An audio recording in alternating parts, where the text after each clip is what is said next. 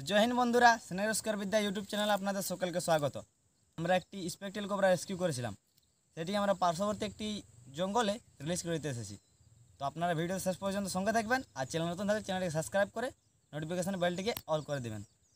চলুন বন্ধুরা, বেশি দেরি না করে সাপটিকে রিলিজ করা যাক।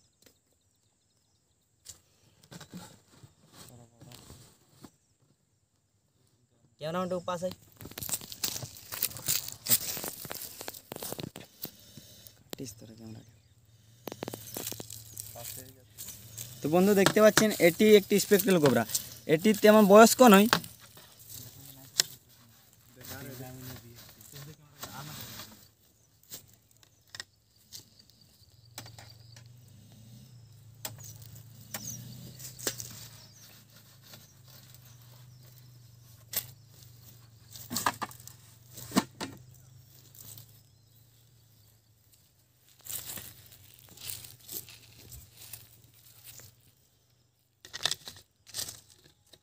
তো বন্ধুরা, এই এই সাপটি কালকে আমরা সন্ধ্যা সময় রেস্কিউ করেছিলাম। এটি আমাদের পাশের একটি গ্রামে। এই সাপটি ইন্দু শিকার করে একটি বাঁশের তলায় লুকিয়েছিল। এই সাপটি তেমন মুভমেন্ট করছে না, কারণ এখন এ শিকার করেছে। আর শিকারটি হজম না করা পর্যন্ত এ সাপের কেমন তেমন ফুর্তি হবে না। তো বন্ধুরা, এটি একটি বিষধর সাপ।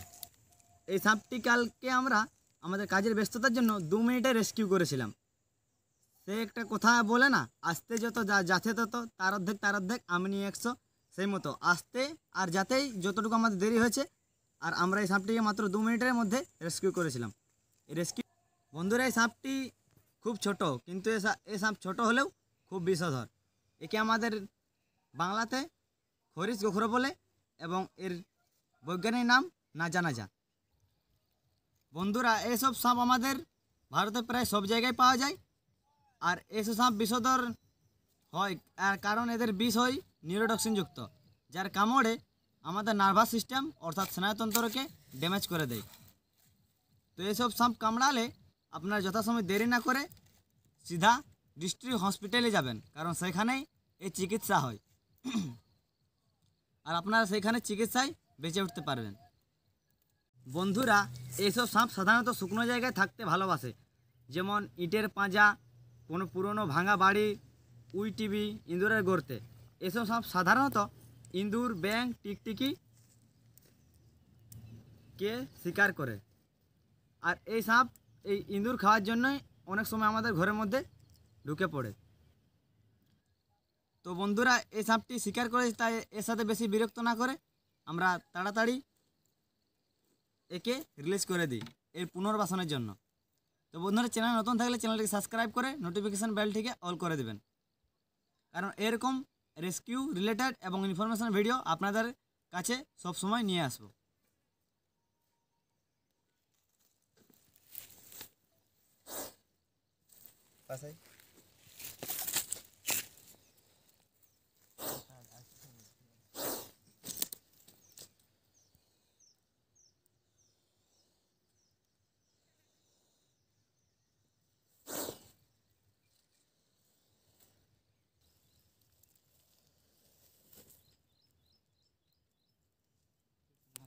को यार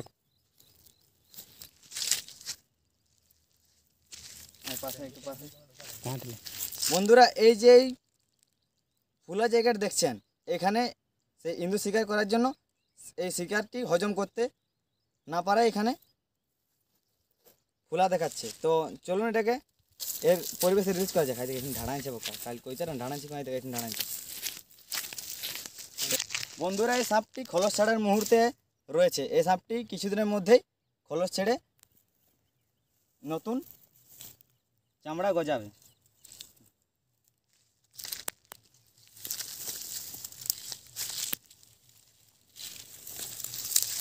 বন্ধু দেখতে পাচ্ছেন সাপটি তার পুনর্বাসনের জন্য জঙ্গলে চলে যাচ্ছে।